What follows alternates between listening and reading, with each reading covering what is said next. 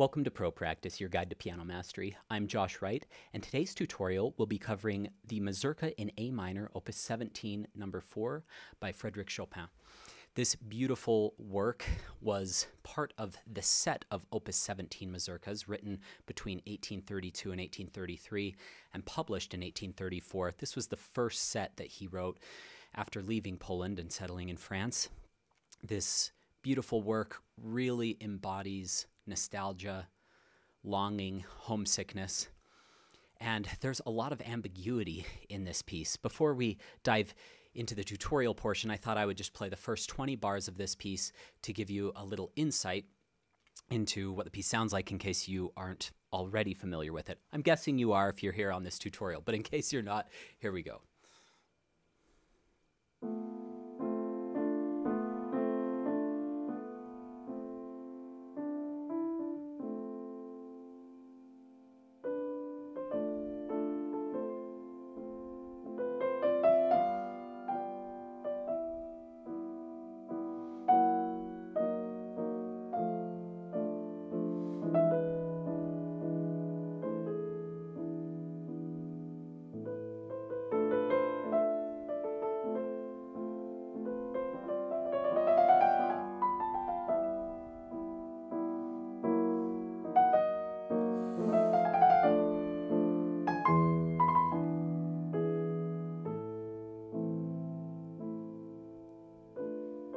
Then we hear a repeat of that. If you would like, you can think of this piece as a large ABA. As I dug into more research, uh, it's in the form of a dance poem. Um, so you do see things that wouldn't hold up in an ABA section, such as this bar 37.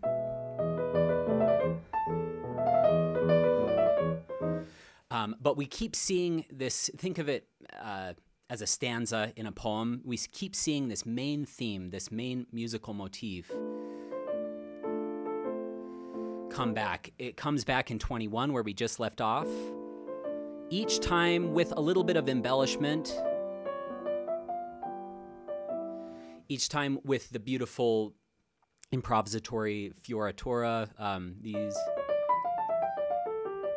just differing ever so slightly. Some of them repeat exactly. Then we arrive on this A major section.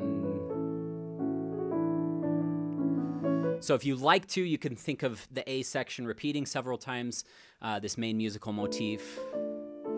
And then you can think of this as your B section, which repeats several times, and then we're back to A.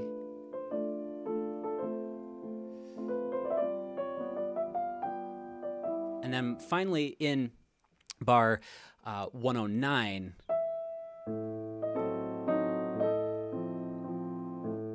well, I guess it's 108. We cadence here. We see a little coda,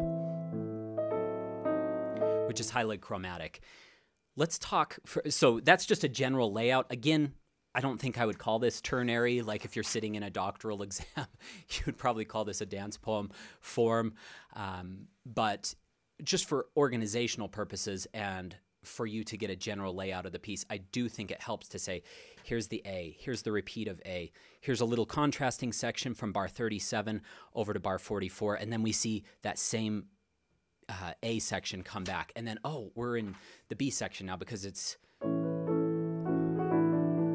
seems to pick up the tempo slightly. He doesn't indicate to pick up the tempo, but that definitely has a more lively, optimistic feel to it. And this is so yearning and sorrowful and nostalgic and melancholic. So, as you're first learning that, I, I like to put just a mental map um, to work to help me memorize it, to help me notice differences from those iterations of the repeated material, or the iterations of that same material. And overall, we can start dissecting key areas as well, and how this piece is quite strange. One thing I didn't talk about is the introductory bars, the first four bars. What in the world is happening? Didn't we say this piece was in A minor? It's very strange. You think, okay, if we end here, maybe it's F major, but we um, we start with a B natural, so it's not going to be F major. So that would we would have a B flat if we were in F major. So it's very ambiguous, and I think that lends to the nostalgia, to the reminiscing of the past, to the longing, the homesickness, as we said. Um, Chopin yearned to go back to Poland and was sad to leave his family. I've been to that beautiful Chopin museum in Warsaw, and you can see his handwritten letters and his notebooks, um, these, these letters to his family. Um, and I think that we want to embody that in our interpretation of the piece. So that gives you just a general overlay of the piece. I always like to try to do that to give you some semblance of organization before we dig in.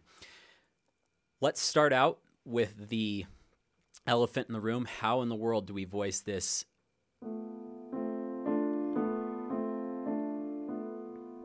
middle line? There are several ways to voice. I've gone over all of these extensively on the channel, and there's others. We just had a tutorial from one of my good friends, a guest tutorial, and he presented voicing in a way that I hadn't presented it before. So many people present this differently. The best way that I've personally found uh, that's helped me the most is something that Susan Duehlmeier, my beloved, amazing lifelong teacher, um, gave me when I was nine years old. We were working on this Chopin etude. Maybe I was 10 or 11 at this point, but she said, Okay, I want you to go home and I want you to play forte on your melody and pianissimo and staccato on the other voices. So we're going to do the exact same thing here. This takes a little bit of getting used to, especially since the melody is buried between two voices. So this is this is pretty awkward.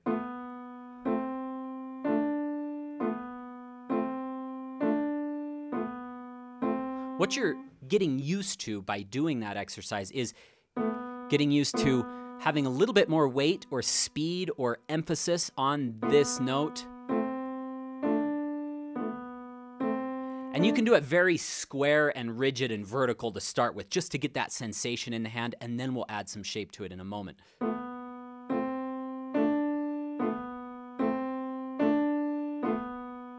That's my favorite way. A couple of other ways that have been presented to me over the years. Um, one way is uh, to think of one finger protruding further down than the others. This is a very dangerous way of thinking about it because you can easily get ghost notes. But for some reason, this clicks with certain students. So if it clicks with you, awesome. If it messes you up, ditch it. Don't don't worry about it. But just thinking of th that fourth finger protruding a little lower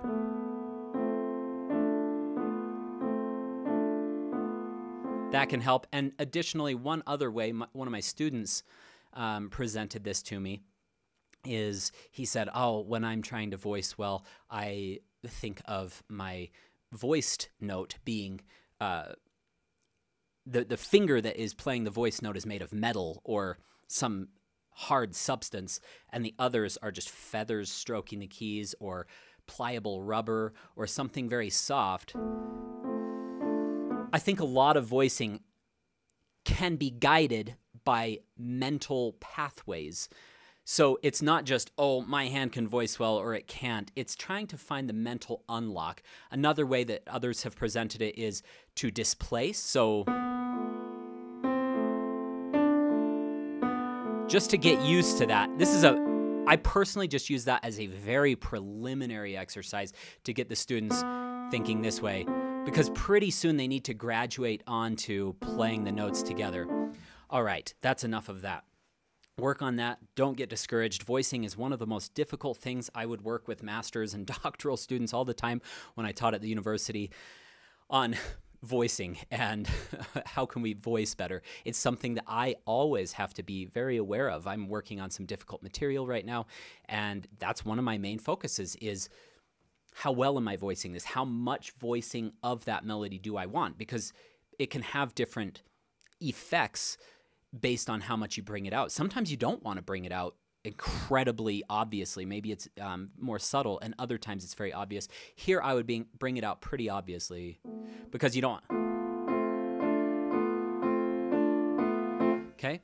Last thing about these first four measures um, before we get into the shaping of it is they're so ambiguous, and the piece starts and it also ends. So even at the end of that coda, Chopin easily could have done something like this and ended there, but instead he goes back. And it feels lost because we're not establishing a strong key area. We really don't know what key it's in until we get down to maybe bar 13. But even then, it's not really. It's kind of there, but then he infuses it with D minor there. So we we hear a really strong cadence in bar 20 where I ended my little demonstration. Other than that, Chopin's kind of teasing us with ambiguity so far as key area. So we want the piece infused with that type of bewilderment, that type of um, yearning and searching for stability and not being able to necessarily find it. I do think we get a little reprieve in bar 61 when we go to this A major this still has some movement and excitement and joy in it, but it feels more grounded. And it's in the key of A major, which is not always the first choice of composers for a contrasting section to go to the parallel major. That's quite jarring. You know, we just end. Um, and every other time we ended in A minor, and this time A major. So very uh, kind of a jarring key change there. It's not the most jarring you could have, but obviously it's not expected. So I like to get your mind set in a good place before we dive and I do this with all my private students before we dive into the mechanics of this because if you have your mind in the right place it will naturally guide you to make a lot of these decisions intuitively rather than searching like where do I go with this line what what emotion am I trying to convey? All right, let's dive into maybe some rubato and shape. Here, because it is so ambiguous and it starts on this B natural, which is so dissonant with that A, I like to maybe ease into it just a little, very soft. And then maybe go to the middle and then diminuendo. Horowitz does something different. He does that which is also quite nice. The thing I just don't want you to do is stagnate. If I have an old recording of this um, that I recorded 14 or 15 years ago. I've changed a lot as a person and as a musician since then. It's a decent recording. Um, it's on my Gaspard CD. Um, it's a little too straight for my liking these days. Um, you know, it was a little bit more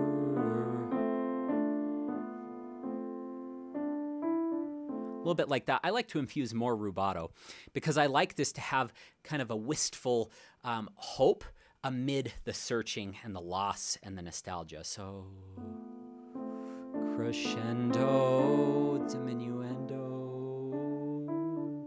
Then we get this extremely lonely melody. Think of that as its own little miniature phrase. Chopin even writes it like that one other little piece of significance is Chopin suspends that chord and just changes the C to a D. So that's tied. So I like to change my pedal there. You can reference the pedal cam there. And then change when we get to there.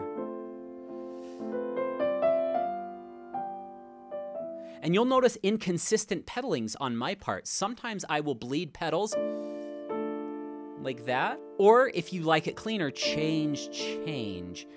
You're welcome to change more often. Here, I wouldn't change. I've just, I don't think it's necessary, but here, I bleed it. I just keep it going. And then change, change, change. Because that'd be a little blurry. So just watch that pedal cam. That's why I introduced this pedal cam, so I don't have to dictate every pedal I'm doing. You can just reference it on your own. Um, but I just wanted to bring that up. And the fact that this is suspended to here. So we have and then this is kind of blurry into it. Don't change. I, I wouldn't change there. I would bleed that. Well, actually, that's a personal choice. You could change. But here, I personally kind of like,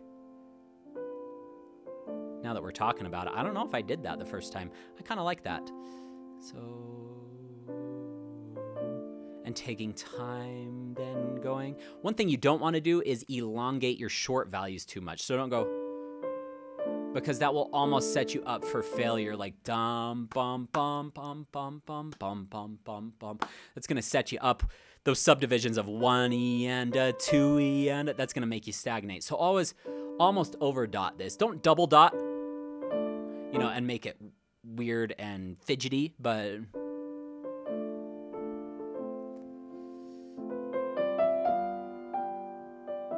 And notice I have pretty free and liberal rubato in there. So time and then time.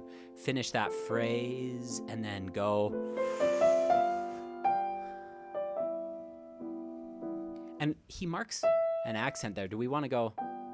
I don't think so. Sometimes Chopin will write accents, and sometimes this is a specialized piece of information.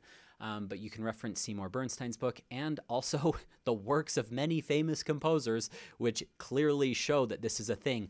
The uh, hairpin markings, um, we don't see a whole lot of those in this piece uh, as I'm looking through it, but sometimes those can indicate time as well as volume indications. Um, it's not just getting bigger. If he writes C R E S C, you're going to want to get bigger. If he writes a hairpin opening, well, as the performer, maybe you interpret that as taking time. Maybe you interpret that as just getting louder, or maybe a little bit of both. I do subscribe to that philosophy. Um, I'll just go on record saying that. I'm not subscribing to it everywhere, but there have been too many instances in the music of Chopin and others that I've noticed that that really works. And I think just this little accent here I think it's resolving, but a little bit of time there and then time there, then move on. He marks piano here, but I like to come up a little so I can come down there.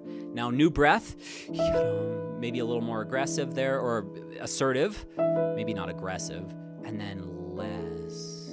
Take time so, as you develop your sense of rubato, the pushing and pulling of time, I want you to make sure to ask yourself where is it going to be best to take time? And maybe I'll take quite a bit of time rather than just being fairly straight, fairly flat. So.